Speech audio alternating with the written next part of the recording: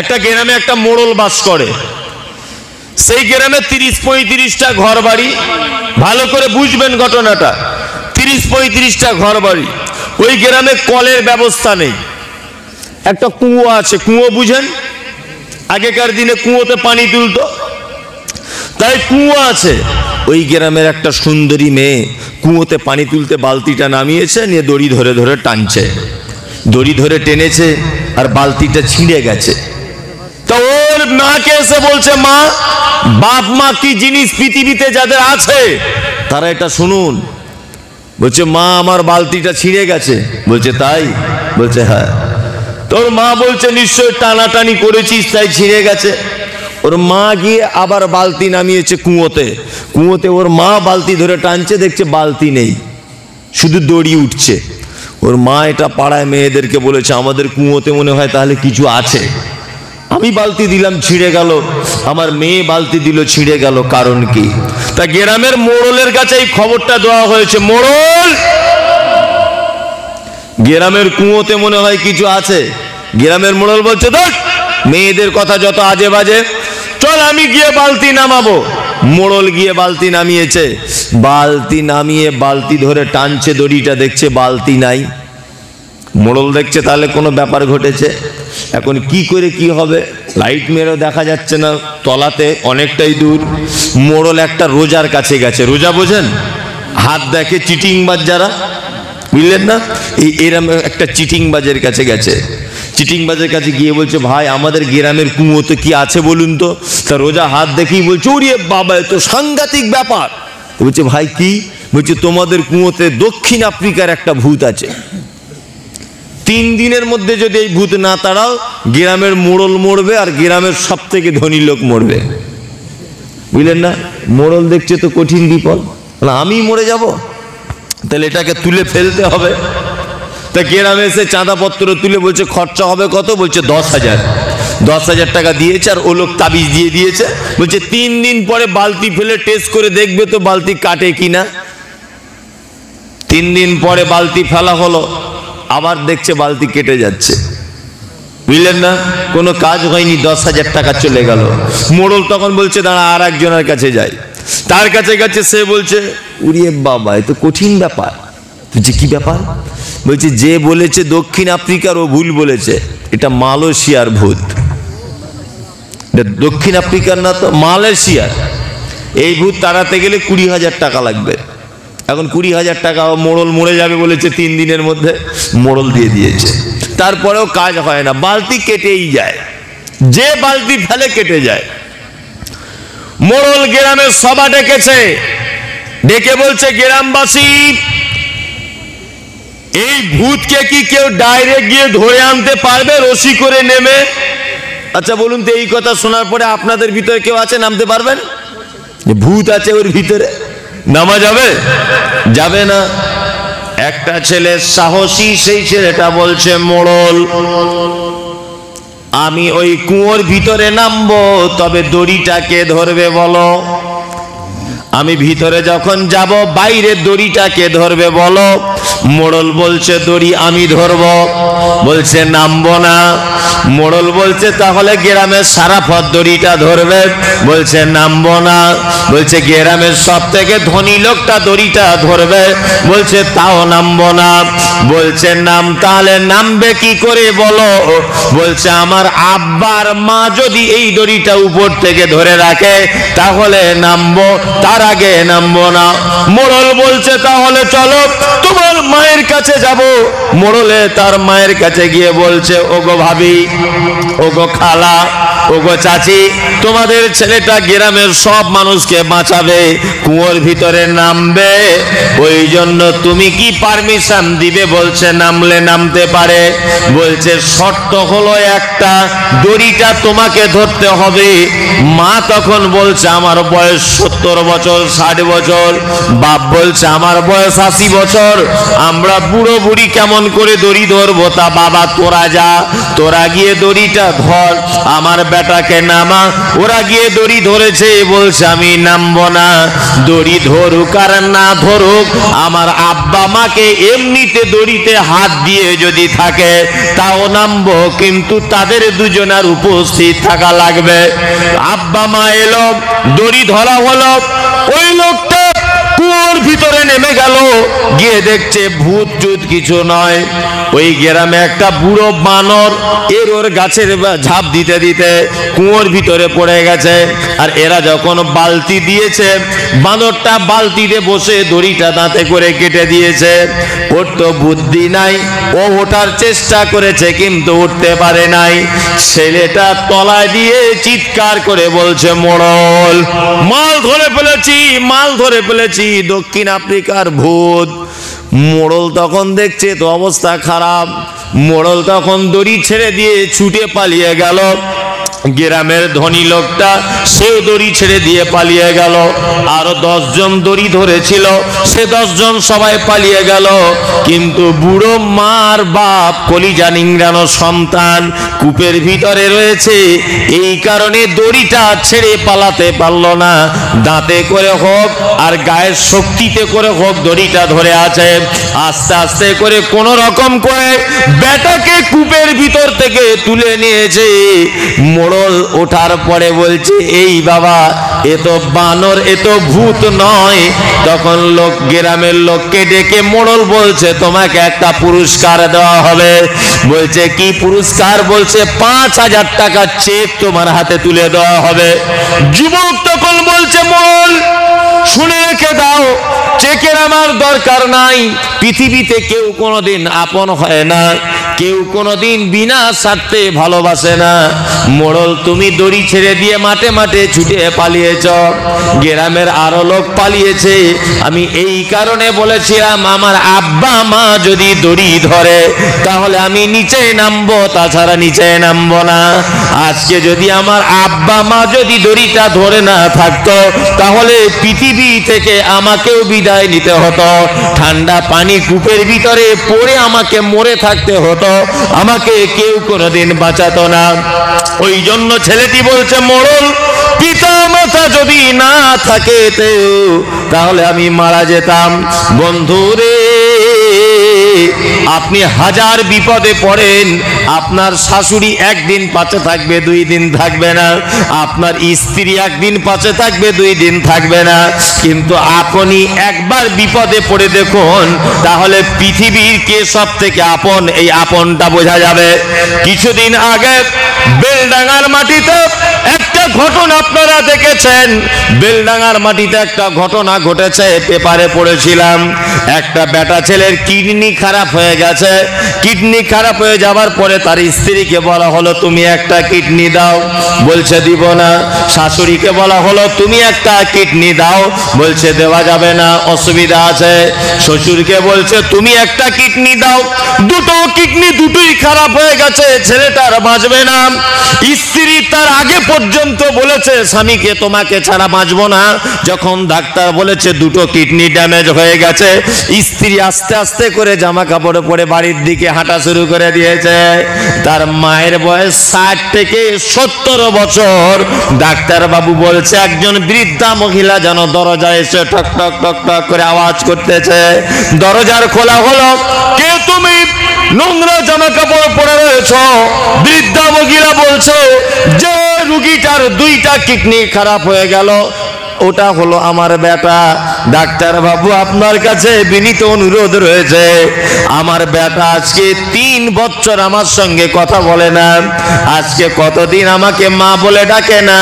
তারপরেও আমি বলছি, ডাক্তার বাবু, আপনি আমাকে অন্য ঘরে ঢুকিয়ে নিয়ে আমার কিডনিগুলো খুলে নেওয়ার ব্যবস্থা করে আমার বেটাকে কিডনি দুটো দিয়ে বেটাকে জীবন দান করো, আর আমি পৃথিবী ছেড়ে বিদায় হয়ে চলে যাই পৃথিবী থেকে চলে যাই আমি। এর নাম মা। ওই জন্য বিশ্বনবী বলেছেন, পুরুষ মানুষ, তুমি তাহাজ্জুদ পড়ো, তুমি দান করো। মাদ্রাসা করে দাও, মসজিদ করে দাও, তুমি যাই কিছু করো না কেন? শুনে রেখে দাও, জান্নাত নামক যে জিনিসটা এর থেকে ভালো জিনিস আর পৃথিবীতে আর আখেরাতে আল্লাহর কাছে আর আপনার কাছে, এর থেকে ভালো জিনিস কিছু নাই। বিশ্ব নবী তিনি বলেছেন আল জান্নাত তাহাদা আকদামি রিজলাইহে। আল্লাহ নবী বলেছেন, তোমার মায়ের পায়ের তলাতেই হলো তোমার জান্নাত। কোথাও গিয়ে তুমি শান্তি পাবে না। কোথাও গিয়ে তুমি জান্নাতের আশা করতে পারো না। আজকে থেকে আপনাকে বলে দিলাম গাছে ভালো ফল হয়েছে। বাজার থেকে মিষ্টি মেটাই কিছু এনেছেন। আপনার মা যেন বাদ পড়ে না যায়। মাথায় থাকবে, আপনার আব্বা যেন বাদ পড়ে না যায়। শ্বশুর খেতে বসেছে বৌমা খেতে দিয়েছে। ষাট সত্তর বছর বয়স শ্বশুরের, চোখে একটু কম দেখে। তা ভাতের থালাটা সামনে নিয়েছে, সামনে দিয়ে একটা মুরগি বারবার যাচ্ছে। তা ওর বেটাকে জিজ্ঞেস করছে, আবদুল্লাহ, এটা কি রে? বারবার ঘুর ঘুর ঘুর ঘুর করছে সামনে দিক দিয়ে। তা বেটা তখন বলছে, আব্বা, আমাদের বাড়িতে একটা মুরগির বাচ্চা আছে ওইটা। কানে কম শোনে শুনতে পায়নি আবার দু মিনিট পরে বলছে, আব্বু, এটা কি রে? তো তুমি কি শুনতে পাচ্ছ না? এটা মুরগির বাচ্চা, শুনতে পাইনি। আবার জিজ্ঞেস করেছে, আব্বু, এটা কি? বলছে, তুমি কি চোখে দেখতে পাও না? তুমি কি কানা? বৌমা তখন বলছে, বুড়োটা মরে না কেন রে? এত কৈফিয়াত দিয়ে দিয়ে মাথা খারাপ? অথচ আপনি যেদিন আপনার বাপের সঙ্গে সাইকেলে করে এখান থেকে শামসি গেছেন, রতুয়া গেছেন বাজারে বেড়াতে, আপনার বয়স তখন হলো দেড় বছর, সাইকেলের সামনে বসে আছেন আপনার আব্বাকে বলছেন, আব্বা, এটা কিসের গাছ? আপনার বাপ বলছে কলা গাছ, বলছে এটা কিসের গাছ, বলছে এটা আমের গাছ, বলছে এটা কিসে কি গাড়ি, বলছে এটা টাটা সুমো, বলছে এটা কি ফুল, বলছে এটা গোলাপ ফুল, আব্বু এটা কে হয়, বলছে এটা আমার মামা হয়, আব্বু এটা কি, বলছে এটা নিমকি, আব্বু এটা কি, এর নাম গুড়ের রসগোল্লা, আপনি রতুয়া পর্যন্ত সাইকেলে করে গেছেন আর এসেছেন, এক হাজারের বেশি প্রশ্ন করেছেন, কিন্তু আপনার আব্বা কোনোদিন বিরক্ত হয়ে মুখে একটা চর মেরে বলেনি যে তুই আমাকে এত জিনিসের নাম কেন জিজ্ঞাসা করছিস বল? বলে, আরও আনন্দ পায় বাপেরা। আরও আনন্দ পায়। ওই জন্য আল্লাহ বলেছেন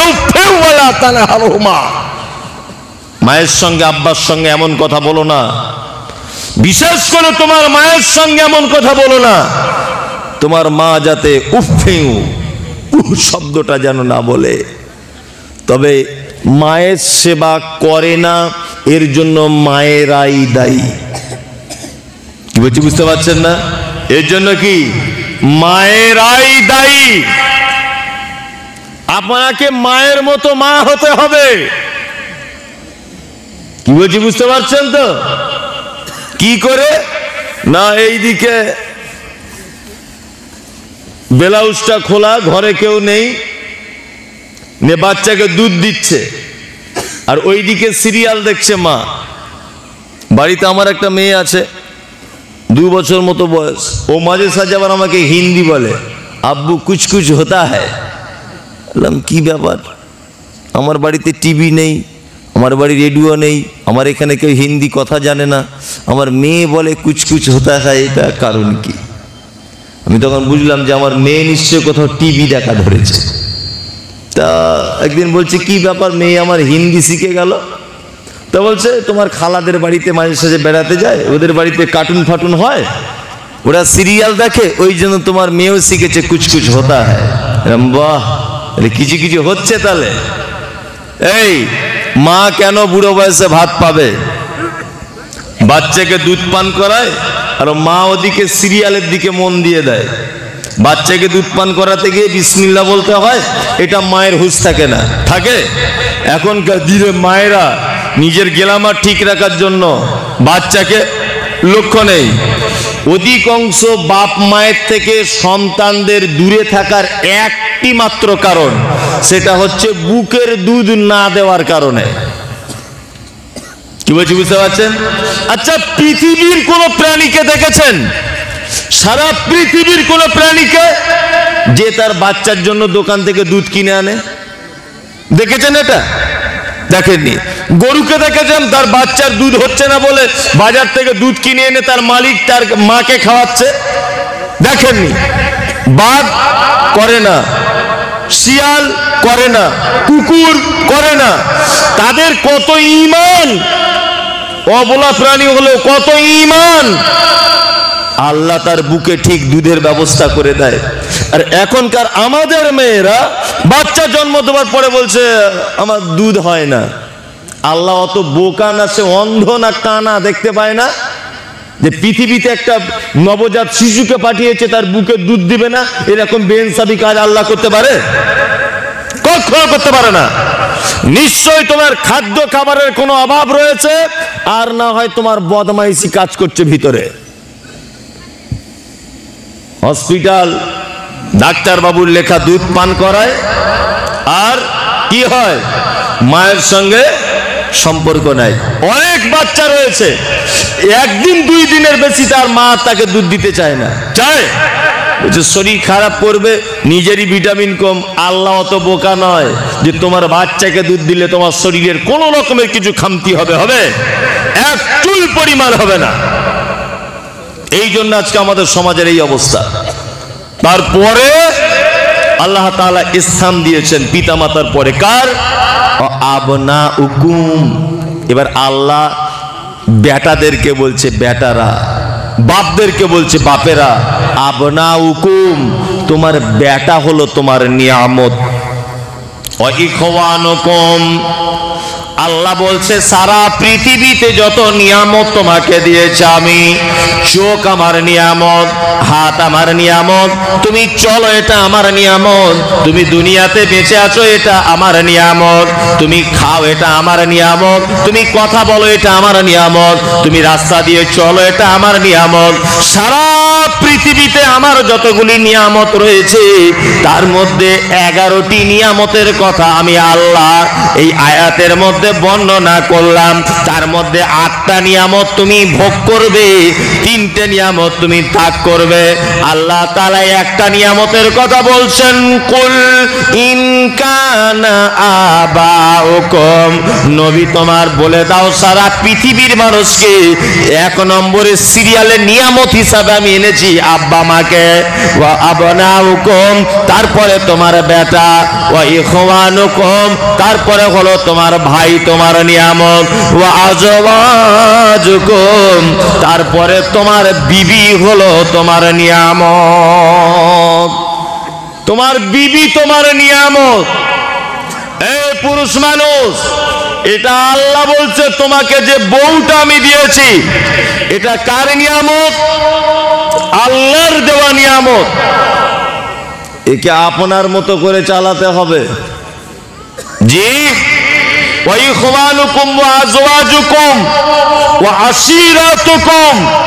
আল্লাহ বলছে নিয়ামত, তোমার নিকট আত্মীয়। আল্লাহ নবী সাল্লাম বলছেন যে, জিবরিল আমিন আমাকে আত্মীয়তার সম্পর্ক অটুট রাখার জন্য এত বারে বারে ওসিয়াত করছে। এত বারে বারে। কি ওসিয়াত? না, আমার মনে মনে ভয় হচ্ছে যে, আমাদের সম্পত্তির মালিক আত্মীয় স্বজনরা হয়ে যায় কিনা? পুরুষ মানুষরা তবু চায়। যে পুরুষ মানুষেরা তবু চায়। বোনের সঙ্গে সম্পর্ক রাখব, ভাতিজার সঙ্গে সম্পর্ক রাখব, ভাইয়ের সঙ্গে সম্পর্ক রাখব, কিন্তু মেয়েরা কোনোদিন এটা মেনে নিবে না।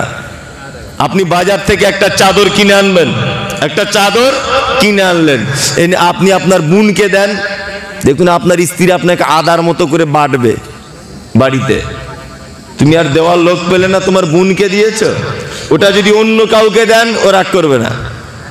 তো অনেক সময় পুরুষ মানুষ সম্পর্ক টিকাতে চাইলেও নারীদের জন্য সম্পর্ক টিকানো যায় না। ওর বোনকে আপনি দেন মানে আপনার শালিকে একটা কিছু কিনে দেন, তখন আপনার স্ত্রী আপনাকে খুব ভালোবাসবে। আর আপনার শ্বশুর শাশুড়ি বলবে, আমার লক্ষ্মী জামাই। বুঝলেন না? আপনার লক্ষ্মী জামাই উপাধি হবে।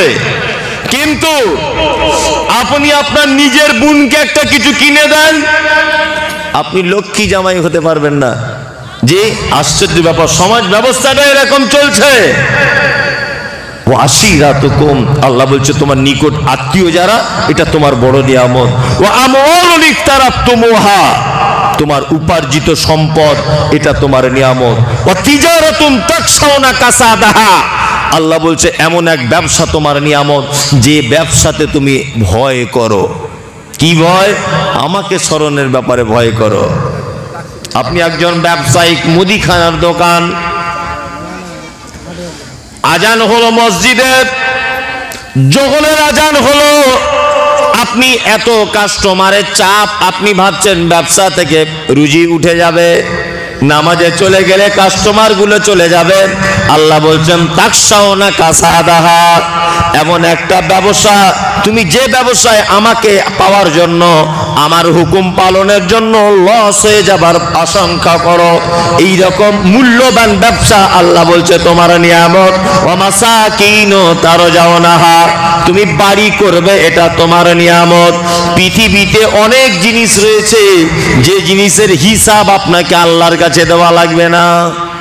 যে জিনিসের হিসাব আল্লাহর কাছে দেওয়া লাগবে না। যেমন আপনাকে বলছি, আপনি এখন এক কোটি টাকার মালিক, ছেঁড়া লুঙ্গি পরে ঘুরছেন, কাবিরা গোনা হবে। কি বলছি বুঝতে পারছেন না? অনেক লোক আছে কোটি কোটি টাকার মালিক, ছেঁড়া জুতো পরে ঘোরে। ভালো শীতের দিনে একটা কম্বল থাকে না, ভালো চাদর গায়ে দিতে পারে না। মানে এত চামারের বাচ্চা চামার। কি বলছি বুঝতে পারছেন না? এত চামার। জীবনে ভিকারিকে ভিক দেয় না। টাকা যখন বেশি হয়েছে, আপনি যে লুঙ্গিটা পরবেন, লুঙ্গিটার দাম যেন মিনিমাম তিন হাজার হয়। আল্লাহ কিয়ামতের দিন আপনাকে জিজ্ঞেস করবেন না যে, তিন হাজার লুঙ্গি কেন পড়লে এই হিসাব হবে না। কি বলছি, বুঝতে পারছেন? আপনি কোটি কোটি টাকার মালিক প্রত্যেক দিন যদি বলেন, ডাল, আলু খাব। না, আপনি প্রতিদিন কুপ্তা পোলাও বিরিয়ানি করে খান।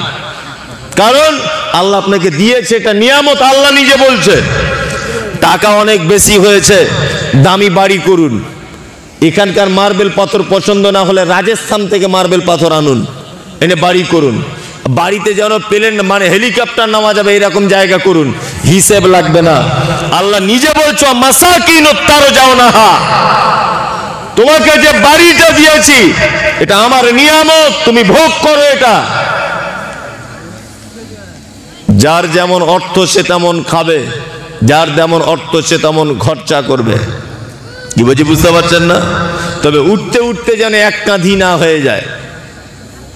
উঠতে উঠতে এক কাঁধি মানে কিছু লোক আছে না যে কি ছিনু আর কি হুনু? মানে ওকে আর খুঁজে পাওয়া যায় না।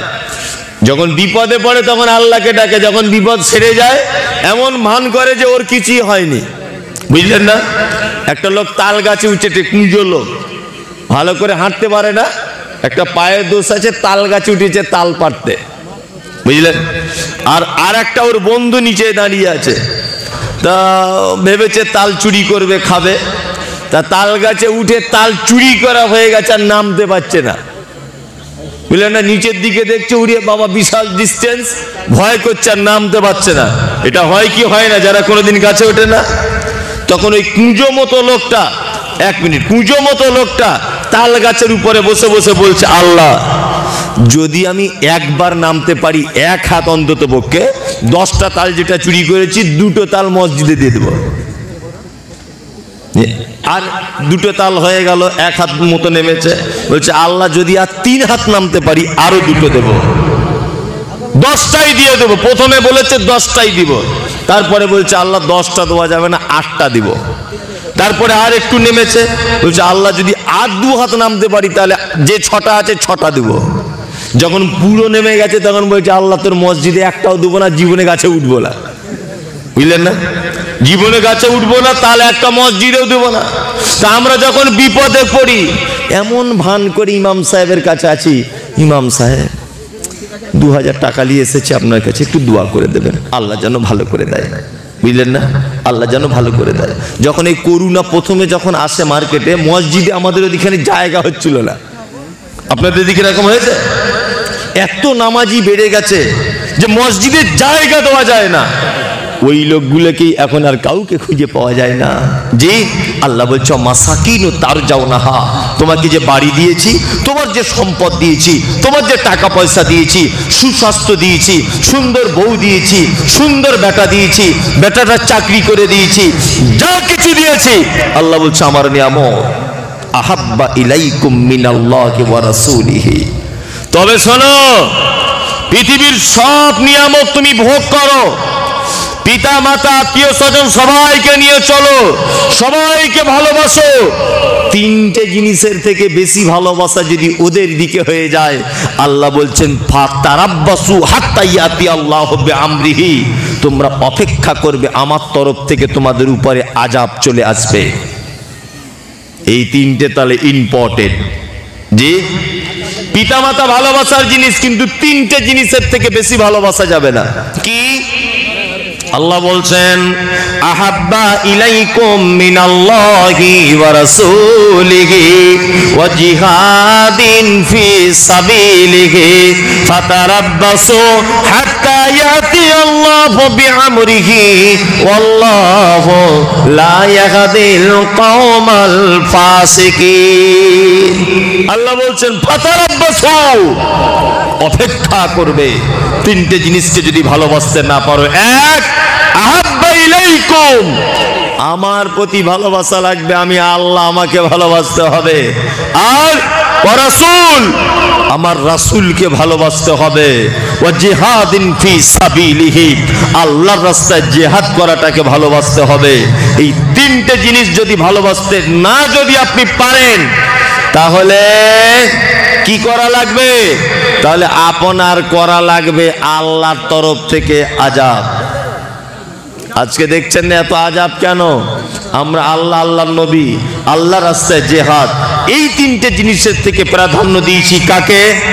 টাকা, পয়সা, বিবি, বাল, বাচ্চা, সোনা, দানা, এই সমস্ত জিনিসকে আপনি প্রাধান্য দিয়েছেন। এই জন্য আল্লাহর তরফ থেকে আজাব চলে আসছে আমাদের উপরে। পিতামাতাকে ভালোবাসতে হবে। তবে আল্লাহ নবীর থেকে বেশি নয়। হজরত ওমার ফারুক রাজি আল্লাহ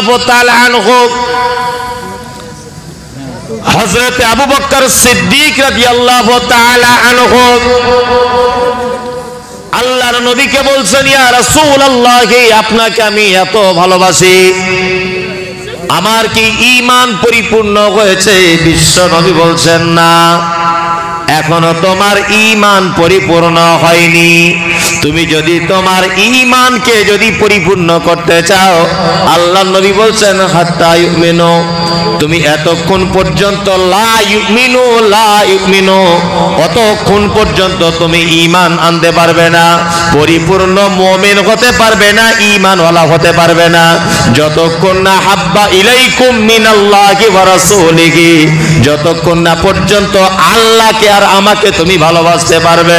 শোনার একটা কথা বলি, সারা পৃথিবীর যত ভালোবাসা আছে, তোমার পিতা মাতা তোমার আত্মীয় স্বজন, সবার থেকে আমি নবী যতক্ষণ না তোমার কাছে প্রিয় হতে পারব, ততক্ষণ পর্যন্ত তোমার ইমান পরিপূর্ণ হবে না।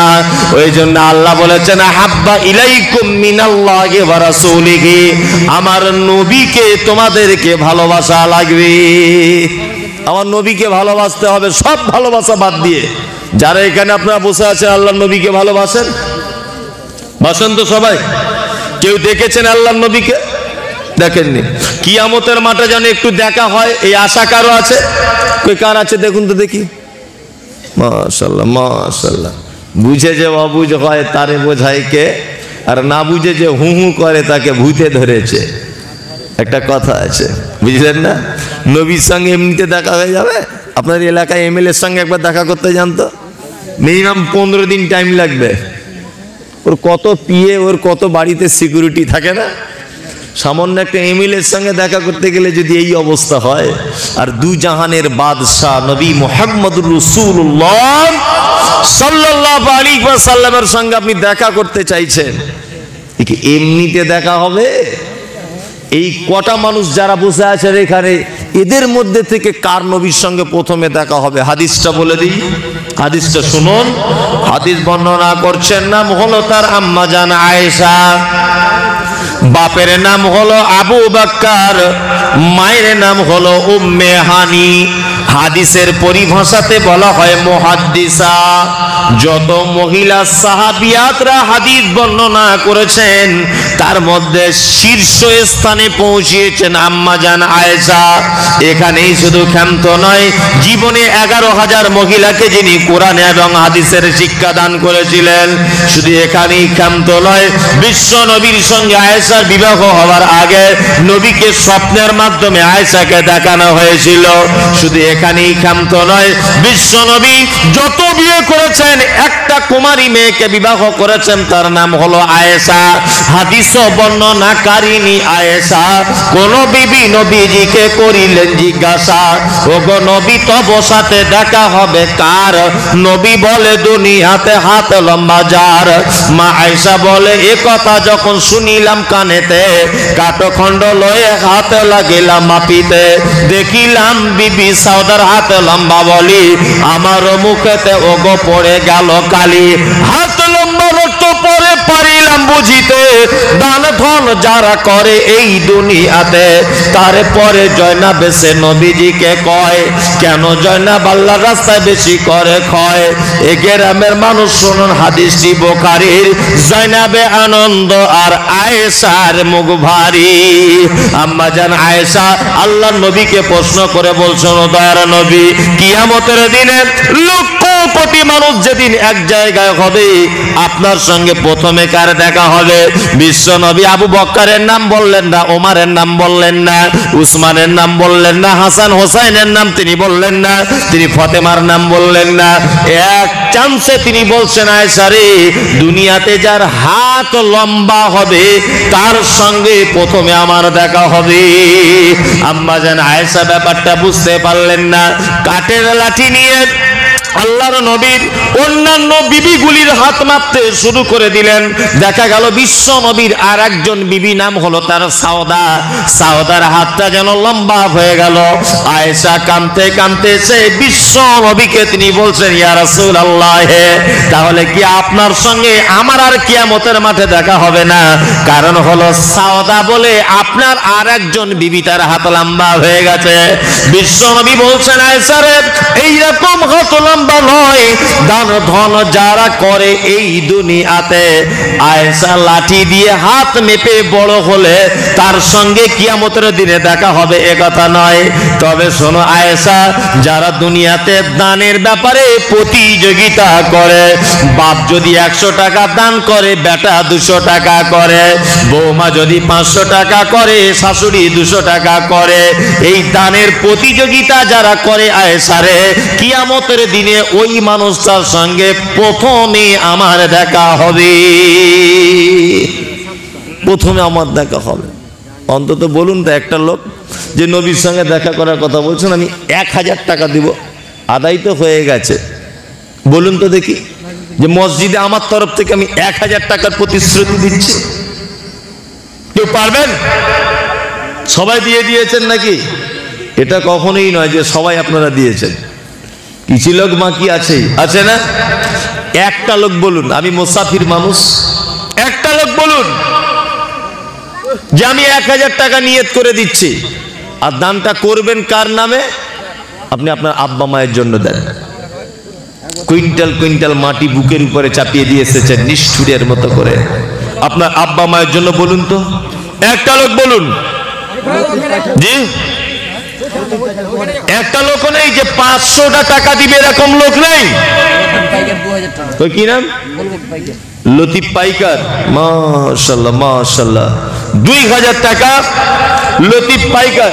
বাবা মার নামে এক হাজার বাবা মায়ের জন্য এক হাজার। কি নাম? মোহাম্মদ এই হচ্ছে আশ্চর্য দানি বাপ মা বেঁচে আছে যে ওরা দেখে যায়। এর থেকে আনন্দের বিষয় আর কিছু নেই। বাবা মা দেখতে পাচ্ছে বাবা মা দেখতে পাচ্ছে। যে আমার বেটা দান করেছে আমার জন্য হাজার টাকা তাহলে মরার পরেও আশা করতে পারবে যে করবে। বেঁচে থাকা অবস্থায় যদি এই করে মরার পরেও করবে। চলুন। রবি দু হাজার রবি? দু হাজার মা